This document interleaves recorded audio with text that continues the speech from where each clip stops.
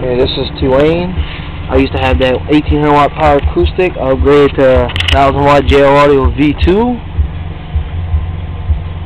Uh, I went from the Diamond D3 to the 12 inch Rockford Fosgate T2. And let me show you what it sounds like.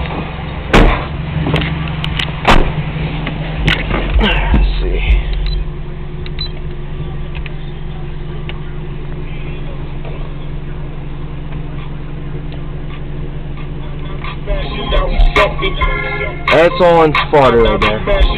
Goes all the way to 80 to bottom.